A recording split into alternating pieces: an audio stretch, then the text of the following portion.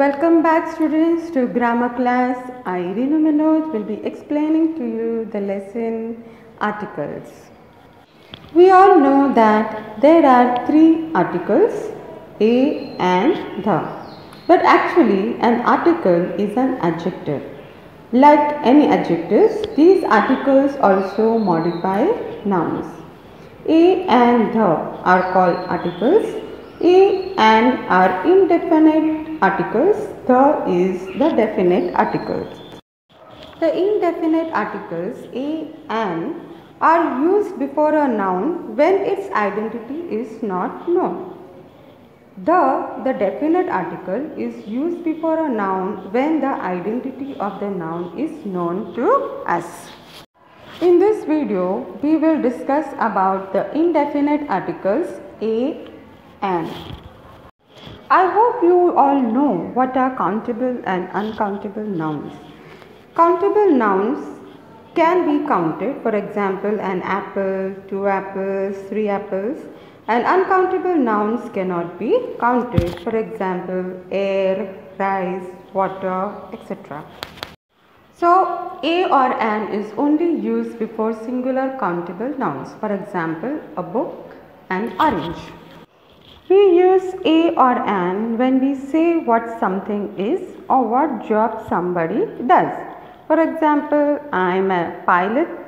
Canada is a big country. My sister is an electrician. Before using these indefinite articles, we have to keep some rules in our mind as to when to use a or when to use an. An is used before a word beginning with a vowel sound. Vowels means A, E, I, O, U. And the sound of these vowels are A, A, E, E, U, U. So when a word starts with a vowel sound, you can put an before that word. Sometimes it happens that the word begins with a consonant letter but it has a vowel sound. For example, honor, are, honest. These words are starting with a consonant letter H but it starts with a vowel sound. Similarly, there are some other words which starts with a vowel letter but it sounds consonant. In that case, we cannot put an before that word. We have to put a. Let's look at this example. Orange. Orange starts with O sound and that is a vowel. So, an orange. Umbrella that is a. So, we put an umbrella. I. An eye. The indefinite article an is used before a vowel sound. An engineer, an elephant, an athlete, an orange, an igloo. All these words are starting with a vowel sound. A is used before a singular noun starting with a consonant sound that is ka, kha, gha, ga. For example, a boy, a bird, a book, a school, a dog, etc. Some words starts with a vowel letter but has a consonant sound. For example, European, unit, union. These letters start with y sound. So we put a European, a union. We use a before words that begin with a consonant sound. A girl, a clock, a lamp. Some more examples a dog, a pilot, a union, a teacher, a university.